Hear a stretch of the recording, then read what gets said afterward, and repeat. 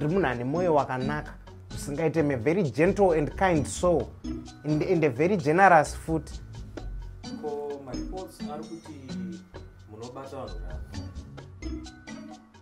ravo mama maripoti ari kuti munobata vanhu mbwebwe putseke! The first time I saw Munashe Chirisa, he was telling us a story about how he was once abducted by a political gang. As a Zimbabwean, I could obviously relate, but uh, aitamzerendine paredza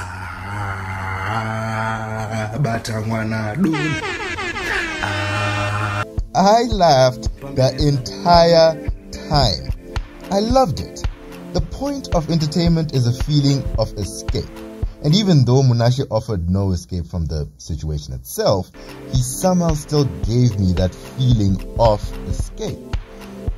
And then this happened. kuzorei wadzorei kanotumwa mvurei hapana chimwe chacho hachina kana mazai omanya kana supu zvayo i'm gonna go with the language life Our cinematographer got this video from his aunt. His first experience with Munashe came from a person he hardly shares any taste in entertainment with, but it worked. He loved it. This simple concept had somehow found something in all of us that made us universally agree on one thing. This is funny. Yeah, the dude is talented, he gets us, he's different, blah blah blah. But how far can we push that? What is Munashe Chirisa capable of? Hey, uh, guys, you know reality shows, right? The point is to get a bunch of crazy people who would never click in the same place and get entertainment value from the chaos that ensues. Did I just mansplain reality shows? Yes, but bear with me. It's going somewhere. Okay, think about this. What would happen if a very talented dude was all of them? All the characters. iwe kani muri papositora jazmani here muri radisepa madziaogara everyday tamba tamba kutoerwa tamba taauaaitinozvaaaaapositora jazmani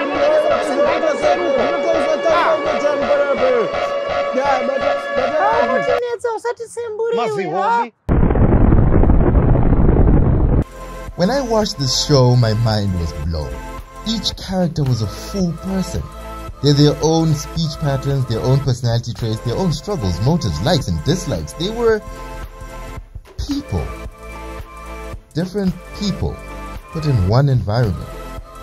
After about a minute of viewing, I found myself referring to them by name. Two episodes in, and I hated Natai, but I adored Changa.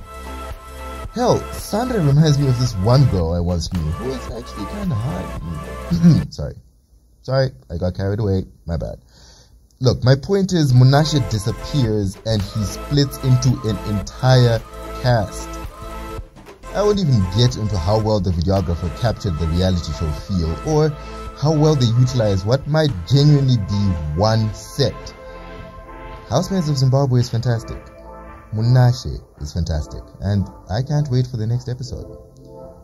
Huh. I I can't believe this thing is on YouTube for free.